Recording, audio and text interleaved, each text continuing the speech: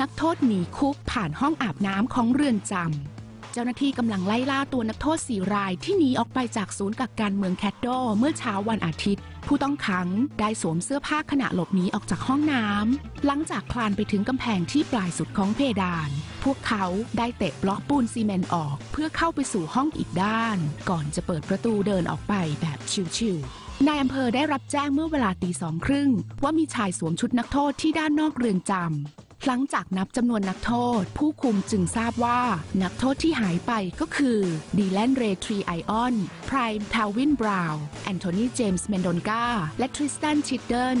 นักโทษทั้ง 4 ถูกตัดสินจำคุกจากการก่ออาชญากรรมที่เริ่มตั้งแต่มีอาวุธในครอบครอง ไปจนถึงการโจรกรรม